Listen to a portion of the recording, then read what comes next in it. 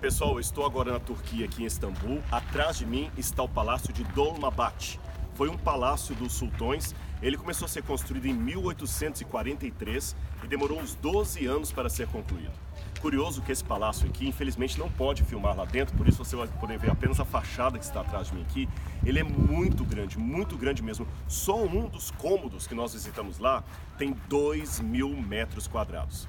A ironia é que esse palácio foi construído na época em que o sultanato do Império Turco Otomano estava começando a sua decadência. Decadência essa que findou em 1923, quando fundam a república chamada Turquia. Logo aqui à frente, você tem um pedaço do mar, onde nós temos o Mar de Mármara, que é justamente o Estreito do Bósforo, e é que é uma região realmente muito rica, muito suntuosa o sultão tinha às vezes 300 mulheres, 300 concubinas. Imagina só a vida de quem vivia aqui dentro desse palácio. Vendo essa riqueza, eu fico pensando desde a antiguidade as pessoas sempre gostavam do luxo, da suntuosidade, do dinheiro às vezes gasto em coisas desnecessárias. Porque enquanto aqui havia uma riqueza sem tamanho, as pessoas ao redor da Turquia morriam de fome. Será que hoje a situação mudou? De maneira nenhuma. Quantas pessoas têm no seu guarda-roupa mais roupas do que elas poderiam usar? Quantas têm mais objetos do que podem usar durante a sua vida? Esta história toda aqui me faz lembrar de uma parábola.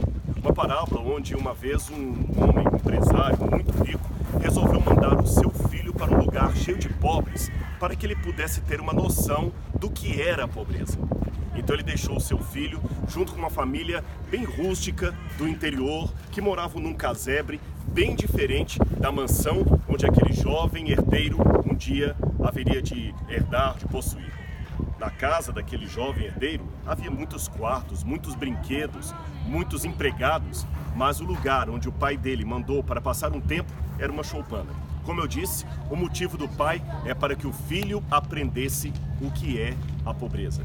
Curioso que depois do final de semana com aquela família camponesa, o filho se encontrou com o pai novamente e o pai perguntou: Filho, então, você viu a situação daquela família rústica? Vi sim, papai. Você viu a diferença entre o casebre deles e a mansão que nós possuímos? Vi sim, papai. E o que você aprendeu, meu filho, acerca da pobreza? Sabem qual foi a resposta? Ele disse: Pai, eu aprendi como nós somos pobres. Pai, como assim nós somos pobres? É o seguinte, papai. Na nossa mansão tem 10 cachorros, mas nenhum deles abana o rabo para mim. Mas aquela família tem apenas um cachorrinho vira-lata que é a alegria de todos que moram naquela casa. Eles podem, durante a noite, ficar contemplando a luz das estrelas e ficar conversando. E lá em casa, nós temos tantas luzes artificiais e há muito tempo que o senhor não tem uma oportunidade para sentar comigo e contar histórias. Ah, eu observei também que aquela família tem a oportunidade de fazer todas as refeições juntos e o pai sempre faz uma oração e todos agradecem e comem felizes a sua refeição. Lá em casa, quantas vezes a nossa comida é preparada pelos empregados sem nenhum amor e nós não temos nem oportunidade de desfrutar juntos uma refeição em família.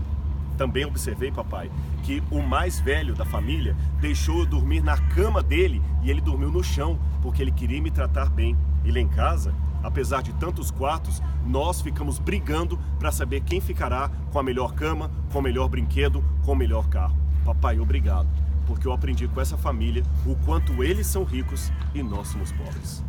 Meus amigos, devemos aprender que apesar da suntuosidade do mundo, há riquezas que o dinheiro não pode comprar. Aliás, se você observar, a maior parte das coisas grandiosas do mundo custam pouco. Por exemplo, uma boa gargalhada, comer uma comida agradável, depois que você está com bastante fome, diz que a fome é o melhor tempero, você também pode desfrutar o prazer dos amigos. Aprenda isso.